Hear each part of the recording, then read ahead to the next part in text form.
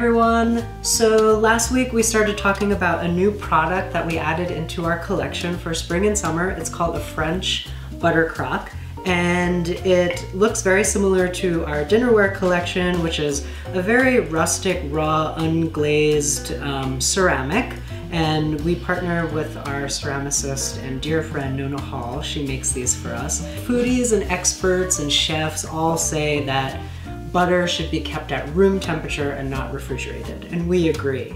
Um, and to safely do that, what a butter crock is, is two pieces, and the lid is where you smash the butter, and the base is where you pour about quarter inch of water. Basically what the crock does is the little bit of water at the bottom seals the butter and air is what uh, ruins butter or makes it go bad. So before refrigeration, this was very common, especially in Europe, for storing butter. So with that, what we're gonna do is make some compound butters. I love flavored butters and we're gonna put them in our little crock. And I'm going to make a seasonal ramp compound butter. If you're familiar with ramps, they're only available for a short time and that's right now. And I'm making two butters on the spicy side. One is Mexican, which has some uh, red chili flake, we're using a Korean flake because it's a little bit brighter in color, garlic salt, cilantro, and lime zest, and an Indian flavored one that has turmeric for color, um, a little bit of flavor, some chili pepper, toasted cumin, curry leaf, salt, and a little bit of asafoetida. So we love compound butters. It dresses up kind of an ordinary dinner, so it's something special you can have. It's great uh, just on plain toast. It's a great um, ingredient for cooking, especially roasted vegetables. You can put it on top of proteins. It's amazing on potatoes. Um, and it just is something different you can do with fresh butter and we, we love it for the color and the flavor. Alright, so we're gonna start off by making a Mexican influenced compound butter. We'll start with one stick of butter. Uh, we let this out overnight so it's nice and soft, easy to work with. And to that we'll add the zest of one lime, some cilantro, about two tablespoons. And then a little bit of garlic powder. Uh, this is Korean chili pepper, also known as gochugaru. We use it because it's not too spicy, but it adds a lot of color. And then a little bit of salt just to enhance the flavors.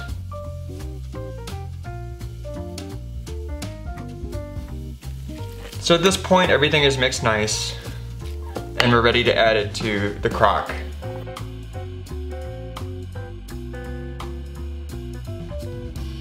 So now that the butters are uh, neatly packed into the crock, put it in, and it's good to go. So we're gonna make an Indian compound butter. The ingredients we're using include ground cumin, uh, which has been slightly grounded uh, so you don't bite into any whole spices. Kashmiri chili pepper, which has a nice color but it's not too fiery. Uh, we have organic turmeric, which adds a nice color and a little bit of earthiness. Salt, a little bit of asafoetida, also known as hing. This gives it a kind of a garlic, onion, funky flavor. And then a few leaves of fresh curry.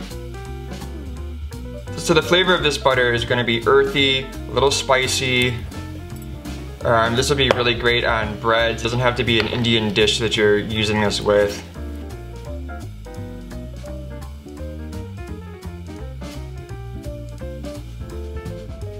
I'm going to make my ramp compound butter. I'm going to take about eight ramps that are minced. Now I'm going to add a quarter teaspoon of salt and fresh ground pepper. The ramps are so fragrant and have a wonderful taste that that's all you really need. It's just a little salt and pepper. And this is my favorite part. You're going to just mash everything together.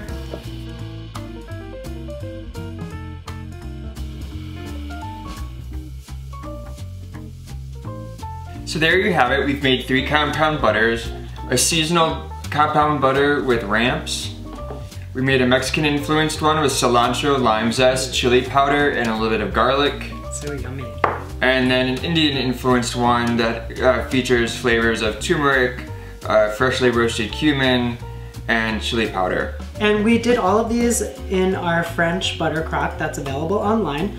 But no worries if you don't have a butter crock or if you're not comfortable about leaving your butter um, on the counter. You could put these in a ramekin or a small jar and store it in the refrigerator and it'll last for a while. And that's it guys. We hope you enjoyed these three amazing compound butters and we'll see you soon. Bye!